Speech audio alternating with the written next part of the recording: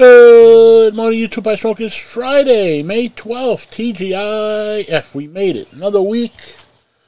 Hope your week went well. Hope your day is smooth. I hope you have a great weekend.